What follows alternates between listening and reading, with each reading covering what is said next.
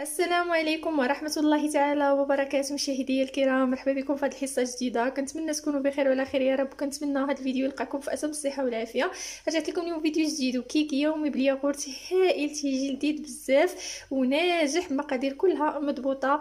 آه، كنتمنى بإذن الله تجربوا لهذا العيد هذا وأنه ينال الإعجاب ديالكم. وعواشركم مبروكة وكنشكركم بزاف بزاف على المتابعة والتشجيعات الرائعة ديالكم. ما تنساونيش ب les likes وال partage واللي كيهم الأمر. بغيت تعرف على هذا الكيك ما لي إلي فيديو حتى الأخير. وفرجة pronúncia دوزو المقادير اللي غادي نحتاجو لهاد الكيك هذا غادي نحتاجو ليه ربعه ديال البيضات بحراره المطبخ كما كتشوفوا معايا. نحتاجو ليه كاس ديال السكر سنيدة ديال العنبة كاس ما مملوش بزاف ديال الزيت يعني خاصو واحد شوية. وغادي نحتاجو كاس ديال الحليب آه، بحراره المطبخ كذلك. وغادي نحتاجو واحد الكاس ديال الياغورت آه، كما كتشوفوا معايا بالنكهه ديال الفاني. وغادي نحتاجو واحد القبصه ديال الملح والسر كذلك باش أنها تجينا آه، فتية وتجينا هشة هاد الكيكة هادي. واحد المعلقه ديال الخل. كتبقى اختياري مرة كنضيفها مرة لا نحتاجو واحد جوج خمارات 16 غرام ديال الخميرة ديال الحلويات وممكن ديروا حتى 14 غرام و7 غرام ديال السكر فاني وندوزو دابا لطريقة التحضير.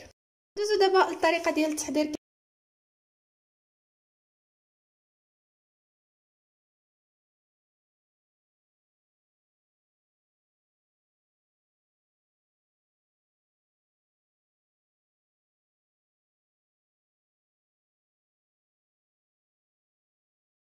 وغادي نضيفوا هاد الكاس ديال الياغورت. بالنسبة للدقيق راه ما بينتوش لكم في الأول تنحتاجوا 3 ديال الكيسان حتى 3 ونص ديال الدقيق. غنقول لكم على حسب الحجم ديال البيض آه شحال غادي ندير في هاد الكيكة هادي. أنا دابا غادي نضيف هاد الياغورت هذا. وغادي نطحنوا هاد العناصر كلهم. فقط غتبقى لينا الخميرة والدقيق والخل. هما اللي غادي يبقاو لينا حتى الآخر دابا أنا هنايا عبره 3 الكيسان مزيان ديال الدقيق. غندي هاد العناصر كلهم نطحنهم. وغادي يبقى ليا فقط الدقيق والخميرة والخل. هما اللي غادي يبقاو ليا حتى الآخر كما قلت لكم الدقيق مرة كندير 3 الكيسان مرة 3 ونص. أنا دابا غنخلط على حسب الحجم ديال البيض. غنخلط هاد العناصر. ونقول لكم نضيفوا ديك الساعة الدقيق ونقول لكم شحال. دابا غندير العناصر نخلطهم ونتلاقاو ودابا بعد ما خلطت هاد العناصر كما كتشوفوا معايا يعني كنخلطوهم مرة واحدة بدون مراحل. يعني حتى الدقيق تنديروه في الخلاط. يعني ما كتوسخو حتى شي آنية أخرى. هانتوما غتشوفوا معايا الخميرة. غنخليوها حتى نغربلوها. الدقيق عندي راه مغربل. غادي نضيف الكاس الأول. وغادي نطحن ونضيف الكاس الثاني ونطحن ونضيف الخميرة. بحال هادي غادي نضيف الخل وغندي نخلط الكاس الأول ونرجع باش ندير تتمه ديال الدقيق. ودابا رانا ضفت الكاس الثاني غادي ندي دابا نخلط وتبقى لي غير الكاس الآخر مع الخميرة ونشوف واش غنضيفو النص الأخير أو لا لا. ودابا غنضيف الكاس الثالث كما كتشوفوا معايا. صافي دابا هاد المرحلة غادي نضيف دابا الخميرة. نجيب واحد الصفايه وغادي نديرها مباشرة هنايا في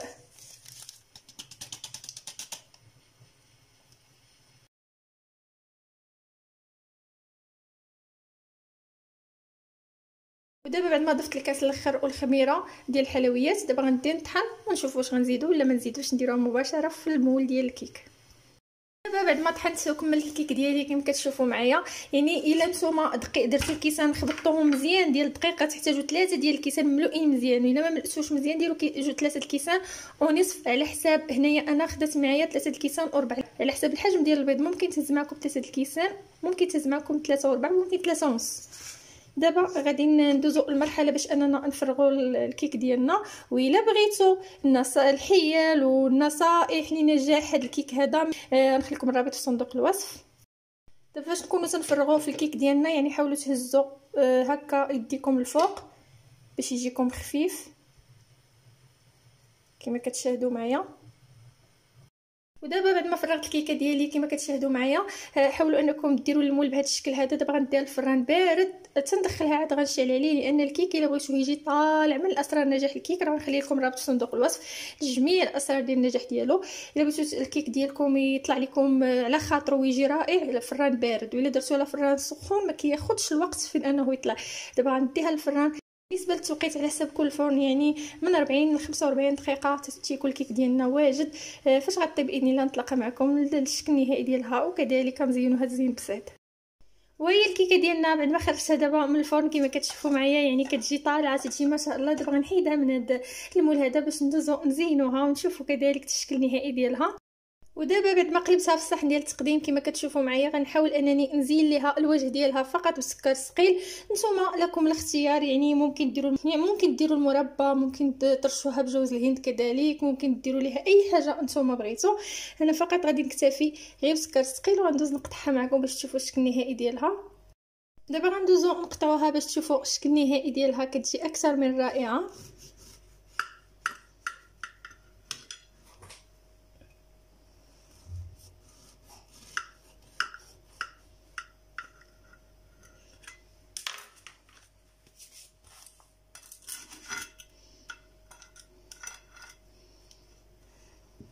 ودابا بعد ما قطعنا الكيكة ديالنا غادي تشوفوا هاد الكيكة ما شاء الله الكيكة اللي الأكثر من رائعة.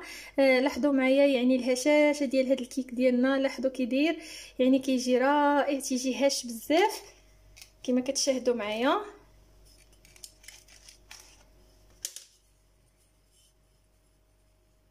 يعني كما كتشاهدوا كيك ولا أروع يعني هش بزاف ورطب بزاف. لاحظوا الكيكة ديالنا كيفاش كتجي. يعني كتجي خفيفة بزاف لاحظوا معايا؟ لاحظوا الكيك ديالنا كيفاش كيجي؟ يعني كيجي بحال البونج كيجي خفيف كيجي رائع وكتجي طالعه ما شاء الله. يعني كيكة بحجم عائلي هائلة.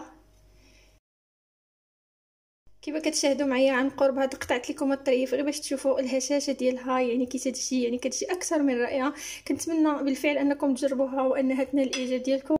ودابا بعد ما قطعت الكيكة ديالي كما كتشوفوا فضلت أنني نقدمها لكم بهذا الشكل هذا كما كتشاهدوا يعني أكثر من رائعة. بقى لي غير هاد الطريف هذا هو اللي ما قطعتش لاحظوا معايا يعني راها كتجي آه، لذيذة لذيذة لذيذة بزاف. صدقوني بهاد الياغورت هذا لاحظوا معايا.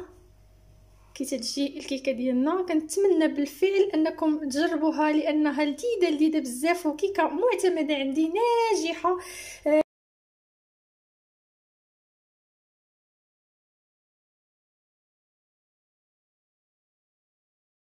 وبالنسبة للفرن غنعطيكم واحد النصيحه ولكن إلا بغيتو نصائح كثار وأسرار الكيك. رانا تقاسمتو معكم في فيديو خاص آه، بالكيك. بالنسبة للفرن فاش تطفيو الكيكة ديالكم يعني ماشي مباشرة تخرجوها من الفرن باش ما يت... الوجه ديالها ما يهبطش ليها.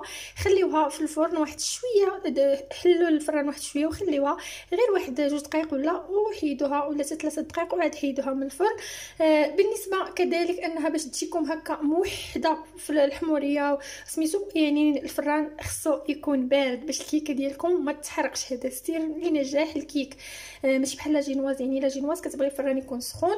بالنسبة كما كتشوفوا معايا يعني كتجي مذهبة كتجي رائعة. هذا السر أنكم كديروها في فران بارد وكطيب على المهل. وبالنسبة باش أنكم تجربوا واش طابت ولا ما طابتش كديروا السكين. يعني كتدخلوا واحد السكين وكتشوفوا الكيكة ديالكم واش طابت ولا لا. يعني كتقلبوا السكين ديالكم إلا لقيتوه ناشف راه طابت لقيتوه باقي شوية يعني خرجتو معاه هكا باقي سردان شوية يعني راه باقي الكيكة ديالكم آه ما ما طابتش. وبالنسبة كذلك للتوقيت يعني آه الكيكة نص ساعة الأولى ما خصكمش تحلوا عليها نهائيا. نص ساعة الأولى إلا حليتو عليها كتهبط يعني نص ساعة الأولى ما تقلبوش الكيكة ديالكم. حتى بالنسبة للكيكة تاع ربعة البيضات راه من 40 45 دقيقة حتى ل 50 دقيقة كيطيبوا كنتمنى فقط هاد النصائح اللي ضفت للمبتدئات إنهم يجروا إنهم ينالوا الاعجاب ديالكم. بالنسبة لنا غنعطيكم بزاف ديال الأسرار. آه أنه البيض خصو يكون بحراره المطبخ. آه بالنسبة إلى باش ديروا الحليب من الأحسن يكون دافي. آه تقلبوا الخميرة العبار يكون مضبوط يعني آه كاع هاد الأشياء بإذن الله. وبالنسبة أنا عطيتكم هاد الكيكة ساهله يعني جميع المقادير في الخلاط يعني بدون مراحل كنتمنى غير تجربوها وتطبقوا هاد المقادير اللي عطيتكم. آه بالنسبة للمقادير نخليهم لكم في صندوق الوصف. وغنخلي لكم الكيك اللي حضرت معكم في القناة غنخلي لكم الروابط ديالهم. كنتمنى هاد الكيكة البسيطة انها تنال الإعجاب ديالكم أنكم تجربوها بإذن الله وتقدموها آه، في العيد ديالكم للأبناء ديالكم وبصحتكم وراحتكم. وغادي نخلي لكم في آخر فيديو بعض الصور ديال الكيك اللي حضرت معكم. آه كنتمنى كذلك أنكم تجربوهم وكنشكركم بزاف بزاف على المتابعة والتشجيعات الرائعة ديالكم. ما تنساونيش ب les likes وتبارطاجيو الفيديو مع الأهل والحباب ديالكم باش الفائدة تعم وتخليو les likes اللي كيشجعوني وإلى حصة قادمة إن شاء الله مع وصفة جديدة أو نصيحة جديدة مع خديجة. وشكرا على المتابعة.